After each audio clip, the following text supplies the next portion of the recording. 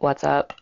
I wanted to make a shorter part two to my integration video.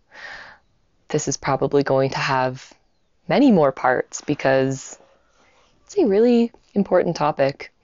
And it's not just integrating plant medicine ceremonies, it's integrating deep experiences, it's integrating our life from when we were a baby until where we are now. Um, integration, integration, whatever it is that you need to integrate. And when you hear that word, I'm curious if something comes to mind for you because it's going to be different for everyone. Like, what is it that you particularly know deep down that you need to be integrating right now?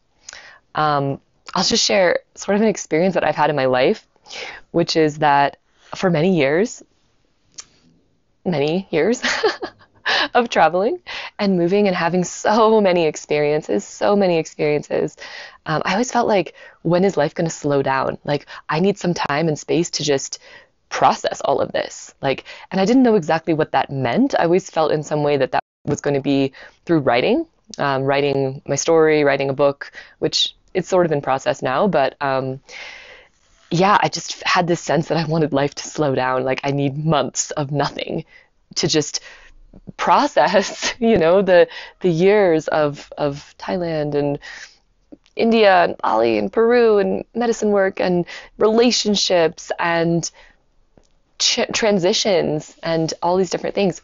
And um, when I started working with plant medicine, I also sort of felt that like, okay, I need days or weeks or months after these experiences to to process, you know. But I wasn't quite sure exactly what that what that looked like, and because um, it's you know at the end of the day you're like, okay, am I just gonna like sit in my house and just be with it all, journal, and life goes on. Life moves on. This is the point. There's not really a space that just happens where you get to do nothing. Sometimes that happens. You can carve that out for yourself. You can create that, create a personal retreat. And I've had several of these. And the funny thing is, I actually feel like the integration happened more just in life than it did in those spaces that I carved out a week of nothingness or a week of, you know, it wasn't nothingness, but of a lot less things. And so my point is, I think integration, it happens in several ways. One is with creating structure in your day which in which to connect to yourself. So having a morning routine, practicing meditation, movement, journaling, writing, writing, writing, writing, getting to know yourself more. Um, this is what works for me. I can't project that's going to work for everyone. I am a writer, so that does feel like a really powerful way to connect with my experience and integrate it. Um, but whatever your morning routine looks like, that's part of it. The other one is just trusting as well, like trusting that the lessons and the shifts are going to weave into your life and just having this mindset of integration, right? Moving through your life, staying connected. It's almost like putting a pin in, okay, the experiences, the insights, whatever you've had, or like the life stuff, you know? It's, I feel like I'm kind of vague with all of this, but um, big i think part of integration is is trusting that you are integrating and it's about being really present right? So i think with integration sometimes we can think oh we can get caught in time a little bit. Like oh these are the insights i had then in the past and i'm supposed to integrate it into my future. It's it's actually just here now. So the more that you can come into your present day self body breath mind together um, that's integration, right? Like if we actually think what is integration, it's disparate parts coming together and you living in a way that's weaving in everything that you've learned, every way that you've changed, and you're continuing to change, right? So if we look at a, a plant, it's always changing and evolving right? If you look at a flower or a tree, it's like it's never the same. It's never going to be the same as it was. And it's the same with us. We don't go backwards. We're we're constantly changing and we're not staying the same. So you are always integrating your experiences of life. Um, but when you have particularly transformational experiences, this is where it's like you can put a little bit more intention into the daily practice, into the specific shifts that you want to make. For example, if you've had insights around um, new ways of thinking or new belief systems, or you had rea- realizations around blockages that you've had. It's like, write about that. Practice that in your day to day. See if you can put yourself in situations that will trigger that to come up and see if you can respond in a different way. Or notice when you're put in that situation that in the past you might have responded a certain way and you can check yourself and say, okay, I recognize this. I learned about this.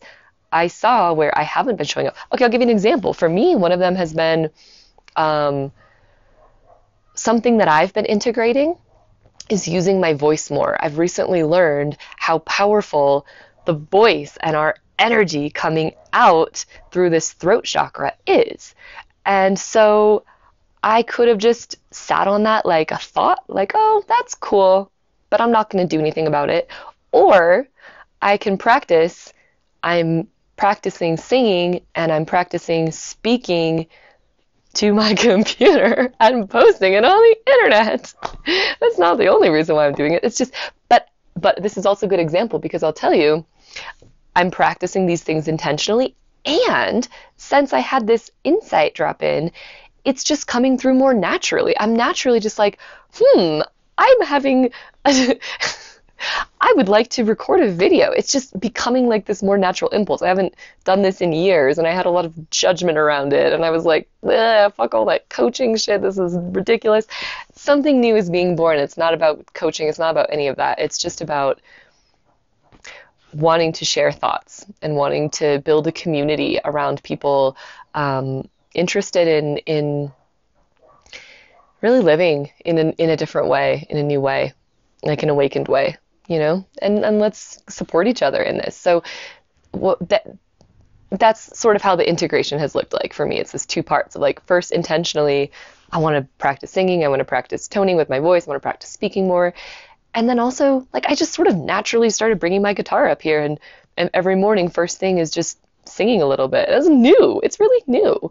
So that's just what I want to offer. It's like, can you let the integration process happen naturally while you also guide it gently um, into place and trust the unfolding that what you need, what needs to stick is going to stick with you um, as long as you hold that intention for, yeah, where you want your life to be evolving into, going into. So, yeah, I'm sure there will be many more parts to this as I continue exploring. So, ciao.